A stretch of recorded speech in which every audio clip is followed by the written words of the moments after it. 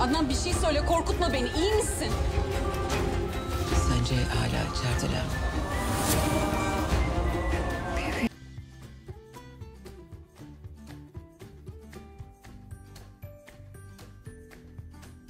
Bebeğim yaşıyor değil mi?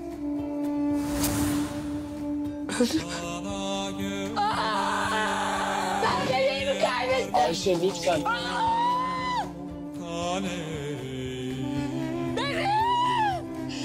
İkimiz de yanarız. Yanalım. Biz ölürken sen bizi korudun yani öyle mi? Ne yaptın karıma diyorum sana.